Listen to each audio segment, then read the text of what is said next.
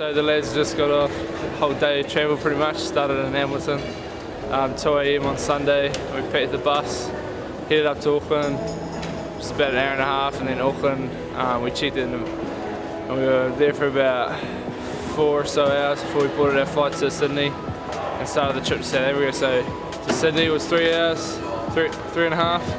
Um, we had a couple hours stopover, and then jumped on a big big plane, um, and we headed to Johannesburg, which took 14 hours. So um, a long flight.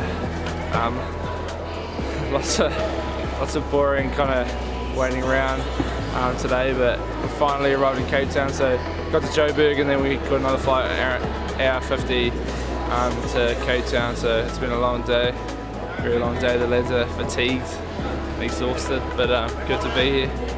Yeah.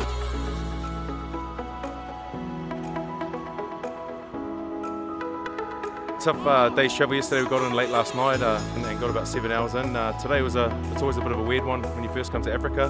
Got to take it pretty slow, uh, obviously with the travel and the time zones, 10 time zones. So, you know, we had a light, light spin today, led by myself on up on the stage, and then, you know, it's pretty cool to be here at Cape Town Stadium. Obviously, a lot history here with the World Cup and and, uh, and not a bad pitch too. So, fun for us to be able to come out to, to great places like this, uh, get a bit of training under the belt, get the legs moving, and, and look forward to a big week.